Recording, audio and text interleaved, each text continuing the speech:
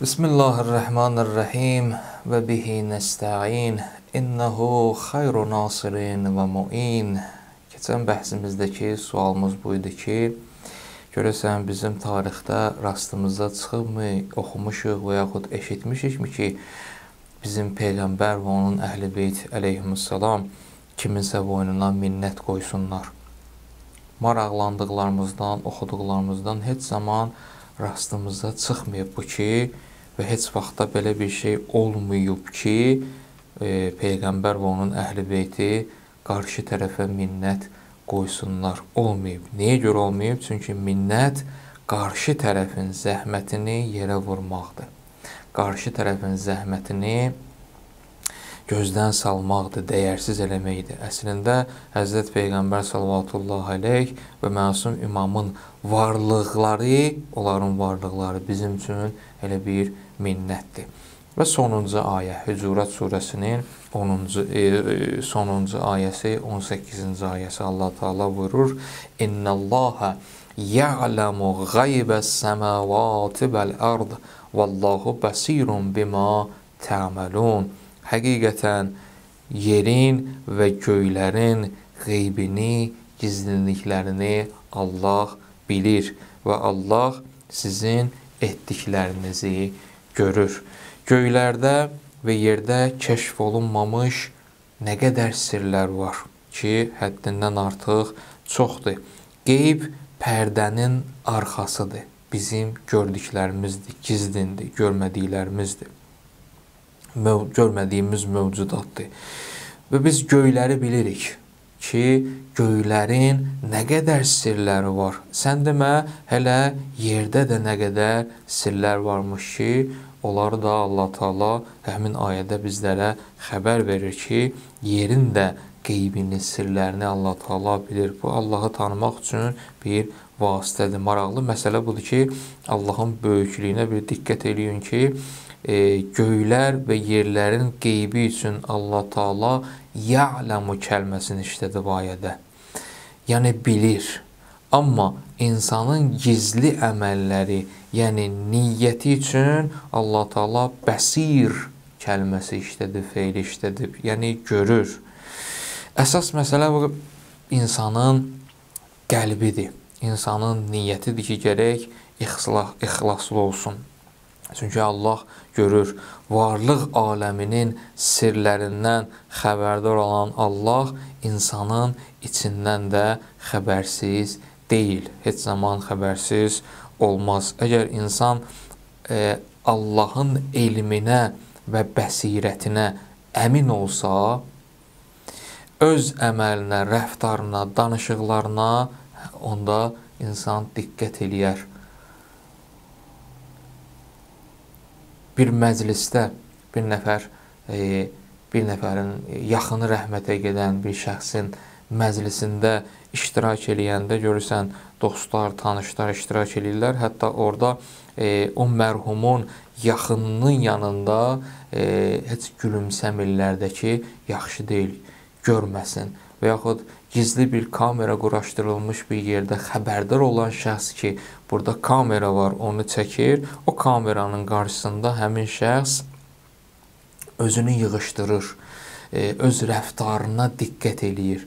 Əgər həmin e, o məclis mərhumun e, yaxınının yaxında özünü yığışdırdığımız qədər gizli kameradan xəbərdar olub öz rəftarımıza diqqət elədiyimiz qədər bu iman qədər Allaha imanımız olsaydı nə gözəl olardı. Biz bilsəydik ki, Allah Taala bizi görür, sonra bizə gördüklərini hətta qiyamət günündə göstərəcək və onda bizim üçün çətin olacaq O zaman biz gələk e, diqqətli olaq əməlimizə, rəftarımıza. Ələm ya'ləm bi ennallaha yara.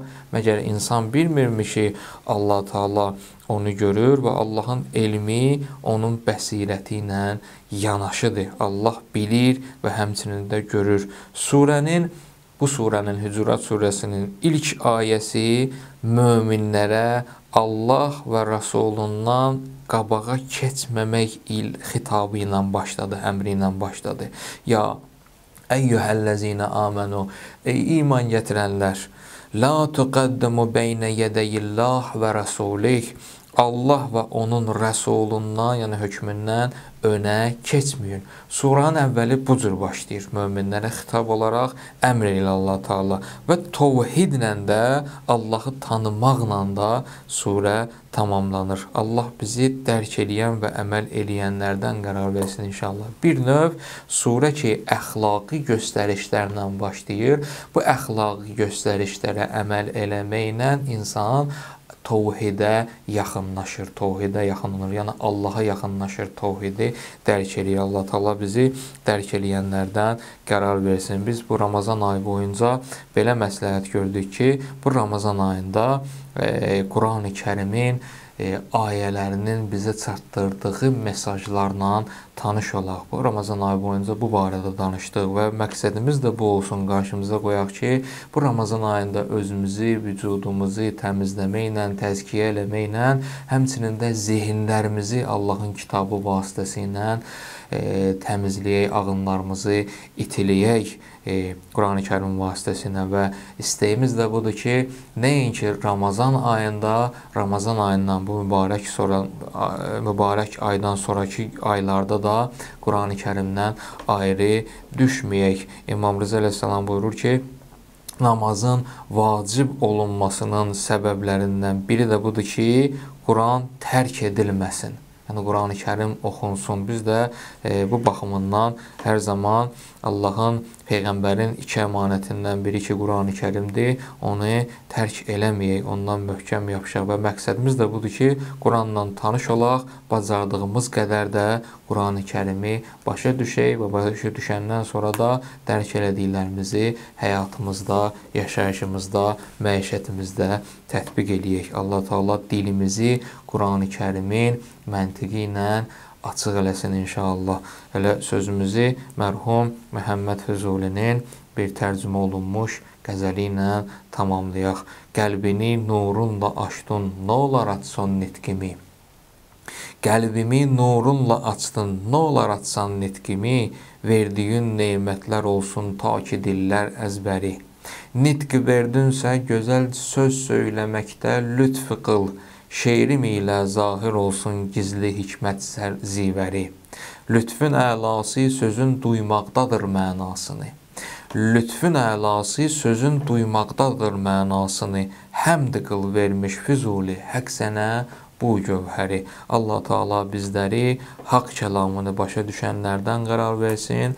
Allah Taala bu mübarək Ramazan ayı boyunca hər kəsin yerinə yetirdiyi ibadətləri, itaətləri, xeyir əməlləri, gözəl əməlləri öz böyüklüyünə xatir və Əhl-Beyt əleyhissalama xatir bizlərdən qəbul eləsin inşallah. Hüseyn, Hüseyn, Hüseyn, Hüseyn.